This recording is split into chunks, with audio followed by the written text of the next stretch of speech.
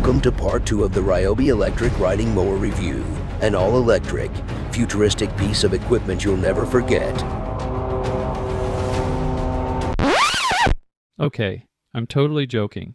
How's that for an intro though? Welcome back to part 2 of the Ryobi electric mower review. This video is going to cover time-lapse shots, what happens when the mower got wet, and how to recover from a fight with a stick.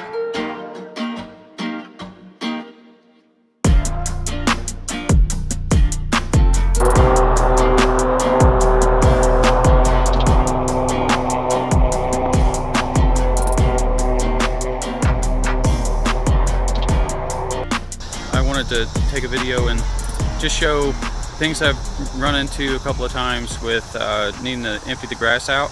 And pretty soon here I'll have to take the um, take the mower deck off.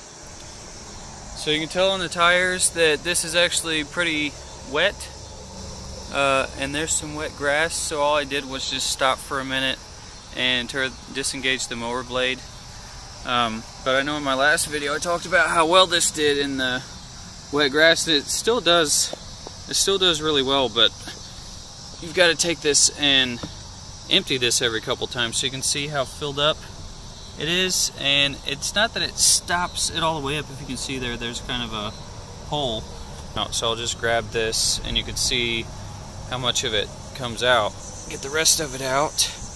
I'm mowing on two and a half and it's so it's really low you see how much it builds up in there. I mean, it's going to build up with any mower, but I feel like with this one, um, since it does actually go so low, it gets clogged up. It feels to me like a little bit more because you can see where it sits off of the ground. You're only getting like an inch or two there off the ground. And so when you're cutting the grass, it tends to get clogged up a little bit more. Okay, so I uh, ran over a stick and wanted to show you what happens if you get a stick wedged into the um, to get a stick wedged into the mower blade.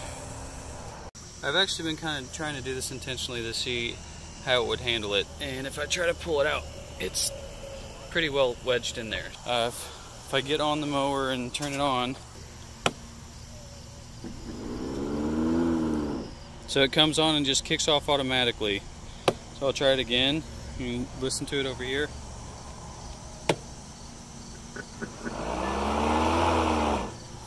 And it's starting to move a little bit so you can see the sharpness of those blades. I should probably actually have some gloves on to do this. So let me just rotate the stick. There we go. So I've got it out. That's the stick. That's what I ran over. Alright so let's see what happens now. So I'll turn the key back on. And I had to push it down and pull it back up because I had it engaged still. There we go. So there is a mulching attachment that you can use, but it uh, I haven't actually got to use it yet. That covers everything I could think of for right now. Obviously, over the next year or so, I'm sure things will come up that I can cover. It's been a fun mower to use and test. The cut quality still continues to be great. Thanks for watching the video today. Because of people like you, I feel helpful.